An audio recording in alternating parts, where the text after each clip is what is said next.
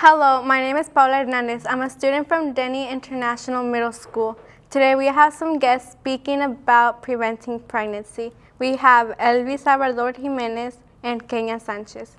Elvis, tell me, if you got a girl pregnant, would you stay with her and help her out? That will never happen to me because my education and my family are important to me and I will also take care of myself. Very good answer because education and family is really important. Kenya, tell me, if your little sister came up to you and told you she's pregnant, what would you do? Um, I will encourage her to make the best decisions and I will give her support and advice and for her to always stay in school. That's very good. Now, before you make any decision, think about what you're doing because you can really affect your life.